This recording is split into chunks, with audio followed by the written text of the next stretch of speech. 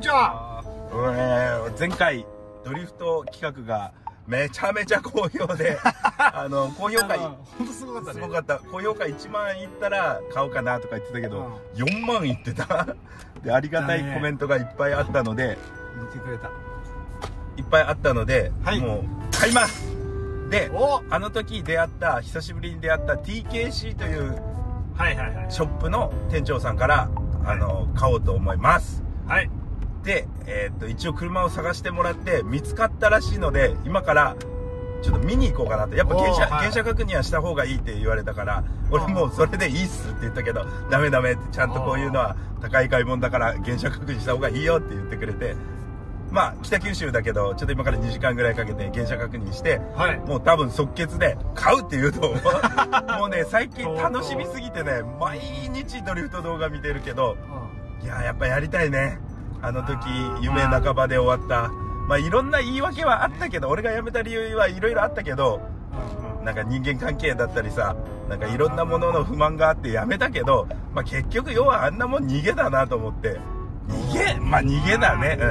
逃げなのか？なんだろうな。まあでも飽きちゃった部分もあるんだろうな。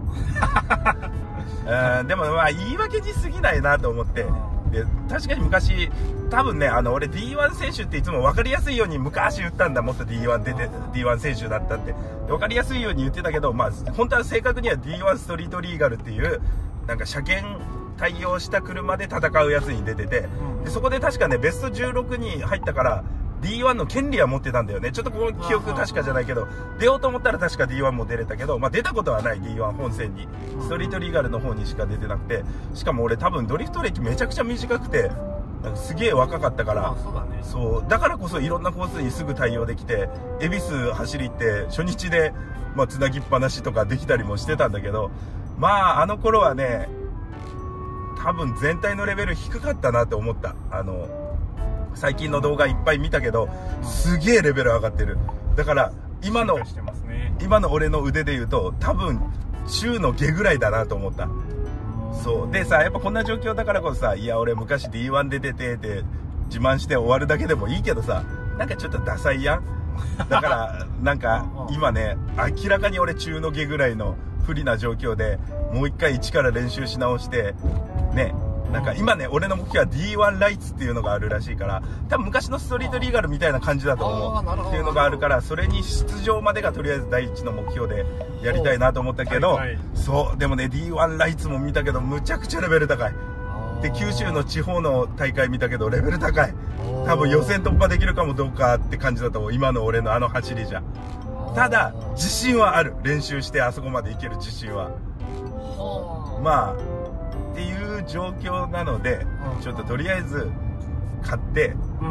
必死に練習して、まあ、練習って言ってもさ週1ぐらいしかめちゃくちゃ通うとしても週1ぐらいしかできないからどっちかというと練習の質だよね。あの1回の練習に対する質を上げるまあいわゆる根性を出して気合を入れてすごいスピードでやってみるとかそういうとこなんだよね。事故を恐れず思いっきりできるかどうかが大きなステップアップになるからさドリフトなんて特にちょっとずつ上手くなろうとしても本当に何年もかかるからうん一発無茶をして限界以上のことをしてミスして事故ったり、まあ、コースアウトを1回するだけで多分レベルが10段階ぐらい上がるんだよねドリフトって。あのコース内で綺麗にゆっくり上手になろうと思ったらもう1も進まない感じだからちょっとね、まあ、年の割に無理してね思いっきり攻めてなるほど。2年ぐらいで D1 ライツまで行きたいなって思う。ただ無謀なこと言ってるのも分かる。いくら昔ねリーガル出てて九州で1番になったり九州2位になったりとかしてたと言っても今のレベルはすげえ高いから結構俺の発言無理はあるけどそれでも2年後には出たいなっていうところ。あとあとスポンサーとかもうお金だよね。うん。がないと多分無理だから、まあそこら辺も含めてできるかどうかってところ。だから本当に上手になるだけが勝つ道じゃないからさ。ということでちょっとついでにだけどついでって言ったら失礼だけどちょっとスポンサー募集します。なるほど。本。当にスポンサはいー。それこそどういうスポンサーの形態があるかとかも分かんないけどちょっとある程度スポンサーを募集してね資金力を貯めないと絶対勝てないと思うから腕だけじゃ無理だから確かちょっとなんか車関係の方よかったら声をかけてください。で、まあ一応60万再生いってたから、まあ、少しは影響力あると思うから、その腕に見合わなくてもちょっと知名度を利用して、なんとかこう、はいはいはい。スポンサーしてもらって、ね、ちょっと泥臭くてもさ、うもうお金くださいみたいなもんや、スポンサー。うん今までそういう YouTube とかやっててもさ、そういうことはしてこなかった自信はあるけど、まあこういう競技っていうのはやっぱそういう泥臭いこともしないといけないので、ぜひちょっとスポンサーを。ちょっと時代が違いすぎてね。そうそう。昔と。ちなみにあの僕がその当時走り屋のチームを作ってて俺が一応リーダーで一応副リーダー的なところでやってて、はい。で今ちょっとついてきてもらってる今日カメラしてもらうやっちゃんね。事務員のやっちゃん。やっちゃんもうちのメンバーだったから ここの3人山賊っていうチームの一員だったからね。なんかやってたよね。だからちょっとだね。ねあの2人で行ってもよかったけどせっかくねやっちゃんも20年ぐらい前みんなでやってたし。はい。まあ今から2時間かけてちょっと TKC さんのところにはい。車を買いに行ってきます。はい。おう。おおなのこれ。おおおおあれあれ。あれだあれだ。俺の14ちゃんは絶対あれだ。俺のじゃないけどまだ。うわすげえ。これすげえ。な前に止めていいのかいいんじゃない？ここ入ろう。そこから左入って。あの突っ込むんで。すいいよ。うわあすげえ。うわ86はい、TKC っぽい車が多いね。本当ですすねっげえ TKC 感あるな。あの14とかあのダクトとか。懐かしいねこんにちは。すいません忙しい時に。えーついにやってきました。カメラ撮ってるけどいいですかこれですよね。これが嫌やったら別にあれがいいです仕上がってる仕上がってるだいぶいやいやむしろ何もしてないあそうなんですねめっちゃかっこいいですね誰が乗ってた車ですかあ、おさむさんの、うわ、俺、おさむさんの命を受け継ぎたい。あれに乗りたい。これで今何馬力ぐらい出るんですか。この前のやつと一緒だいろいろ動画見たんですよ、ドリフトの動画。めちゃくちゃレベル上がってて。ちょっとかなわないなぐらいは上がってると思ったんですけど、でもめっちゃ練習して、そこにも勝つぐらいになりたいなと思って。だからそれを視野に入れた車が一番かなとは。はい。これをはい。どうせロールバーとかいるよね欲しいですね。なんかレギュレーション的には必要とかあるんですか？ないけどあ、あった方がいいです。外装の北川さんとかは外装は正直めちゃくちゃ練習したいんで、もうボロくて良くて、である程度1年ぐらい練習しまくって上手くなったら綺麗にしたいです。まあ全然詳しくないんだよね。あんだけやってたくせに。見て何にもわかんないけど、インタークーラー。でこれラジオタイム。インタークーラーここですけど。先生先生。タービン。あタービン。タービンも06しか知らない。でも水槽で勝ちる追っかけるのでさリア掘りすぎしたらダメよ、置いてくれるやんクッとかんと腕でなんとかしてほしいんやけど本当はこれが これがいい。遠回しに楽するなって言われてる。いやでも俺あのめっちゃ滑るのが好きなんだよなでも結局あれって追走もスタートのこう仕方で全然パワーの差があってもこうついていけるじゃないですか。あのこの前のレックサイドぐらいやったら、そうですあそういうことか。大きいサーキットになると離されるってことですね、いやまあ欲を言うともっとタイヤのグリップ上げてもっとパワーを上げて。うん、で要は今なんかリア解凍状態で出すのってすごい怖くないやん。怖くないです。沸騰状態から出すのって怖い、逆にハンドルも入れる、はい。それをちょっとまあでも一応関谷はそうやってやってたんでまあまた練習したらできるとは思うんでただ今みんな見てたらみんな逆振りの時に蹴ったりしてるんであ逆切りしようよね簡単そうだなとは正直思うんですよ、でも審査員によるけど、はい、大体の審査員はそれダメあそうなんですね。蹴って逆振り。うん逆のモーションが大きかったからあんまりよくじゃああの当時やってた関谷でそうそうこうやってグリップでああでもそっちが得意です懐かしい。ちょっとこっちから見てくれすっげえ窓開い。てるマジで俺この14に乗ってたけどこの感じ超懐かしい。あーなるほどなるほどすげえメーターも懐かしい。こうい。うのもつい。て俺ここになんか水温計とかこうつけてて懐かしい。これブースこれねあの絶対触んなって言われてた確かにね絶対触るな絶対触んなっつってこれブースタービン壊れたりするからうわサイドブレーキ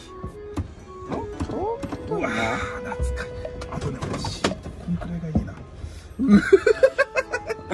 え えー、いやこんな狭かったんだ。懐かしいな。ー懐かしいね本当に。めちゃくちゃ懐かしいこの後ろあのね感じとか。うん。この匂いがね。そう匂いが一音の匂いだよね、わかる。独特のこの匂い。めちゃくちゃ一音の匂い。なんか今めっちゃ懐かしい感じしたもんすごうわ懐かしい。いでこれがさちょうどさ100円のパックのジュースがちょうど入んだよね。ここここ。うわ懐か懐かしい。マジでやばい。しいうわすごっもう走りたい すごいね。あミラーはちょっと違う改造されてるね。うんうん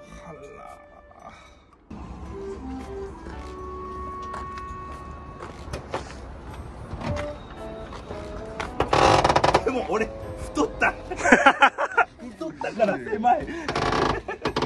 バケットシートが狭いもん。昔スカスカだったのこれもね面でね。ちなみに俺マジで公道で乗る予定はないのであはの安心してください。行動では一切乗りません。はあ懐かしいな。あ一応後期ねここが。いうんこう来てるだね。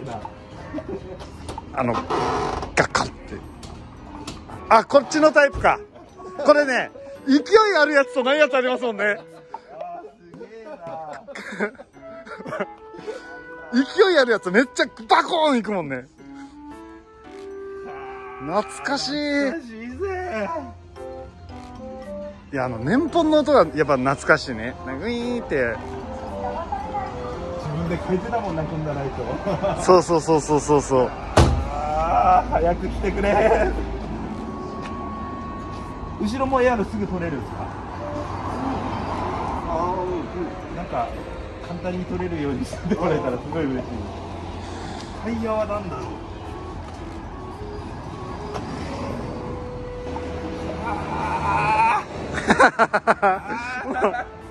なんかねなんかね久々にねヨネがそこまでテンション上がってるのがねちょっと見てて面白い。じ車をお願いしました。一応現状にロールバーをつけるっていうところでちょっとあのいろいろあれから1時間ぐらい話したけど社長厳しいからあのパワーでごまかすなとか アクセル踏めないならパワー上げないぞとか言われたんでとりあえず現状これでいってもうめっちゃハイスピードで突っ込んでよしこれでタービン変えてくれってお願いしようと。思うそうですよね、アクセル踏めなかったら変えてくれないです。よね全開で行くんで全開ダメダメ取り上げないでくださいねじゃあ全開で突っ込んだらタービン交換認めてくれますはい OK ですじゃあ頑張るんで、はい、よろしくお願いします、はいお願いします3月いっぱいにははいそうでしたねはい、すいません。ありがとうございます。じゃあちょっとお世話になった DKC さん、なんか宣伝すること全然はないですないですね。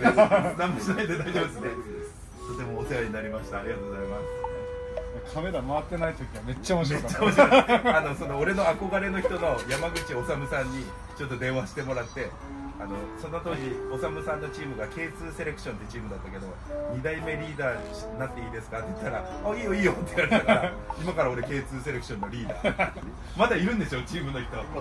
じゃあまだ見ぬメンバーがいるけど僕がリーダーです。皆さん K2 セレクションの皆さんよろしくお願いします。もうおさむさんから任命されたんで現リーダーもあの撤退させてもらって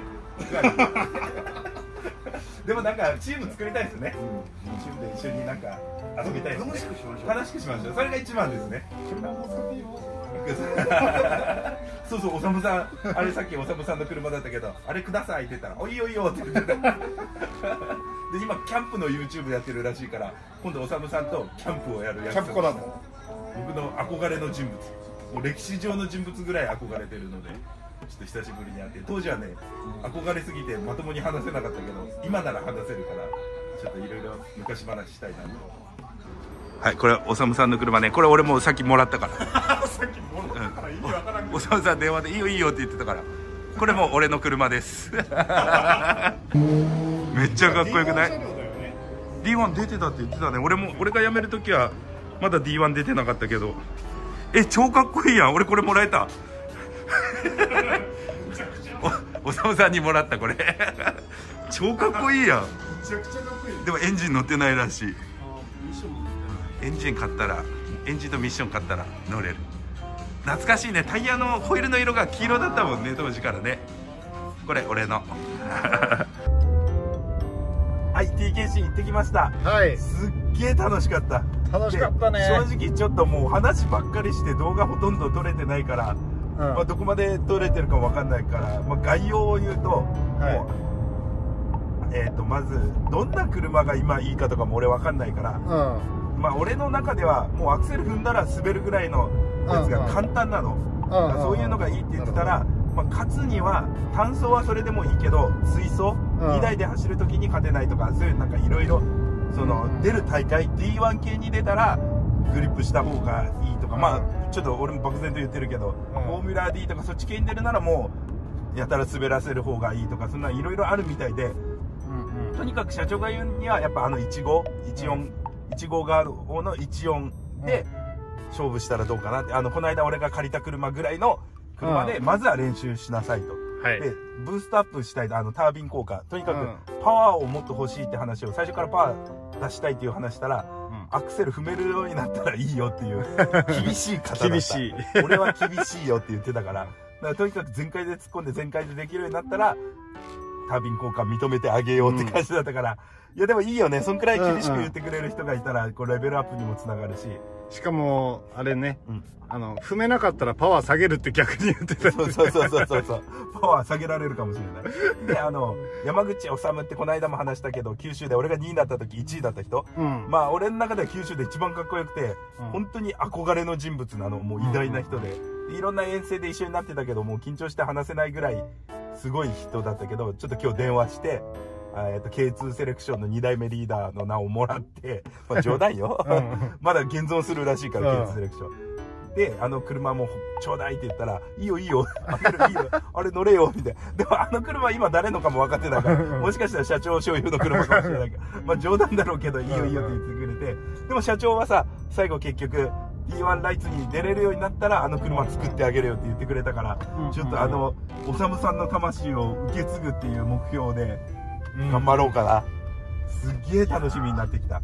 で、いろいろさ、多分見ててドリフトのこと分かんない人いっぱいいると思うから、うん。練習の時にこういう感じでやると、ポイントが高いとかさ、あーこうあるとか、そうね視聴者さんにも分かりやすくドリフトのことを話しながら練習してレベルアップして、うんうんこう大会に出れるまでっていう動画をちゃんと作っていこうと思うので、はい。今回はとりあえず車購入を決めさせてもらって、いろいろ懐かしい話をいっぱい、めちゃくちゃ懐かしかったね。うん。楽しかった。あの人まだやってんだっていう人もいたり、ああ、俺が辞めた2年後には辞めちゃったのかとかうん。いろいろ、ということで、ちょっと車決めました。はい。えっ、と、まあ、遅くても1ヶ月以内には届くんで、ちょっと車届いたらまた動画にしたいと思います。ではいで、速攻で練習に行くから、うんうん今ちょっとフリー走行って言って、パッて行ってパッて乗れるやつがなくなって、うんうん貸し切りじゃないとダメらしいから、あの TKC の社長とかが協力してくれて、うん平日に貸し切って、みんな集まってワイワイドリフトしようっていう話もしてるから、うん次購入したら即練習に行く。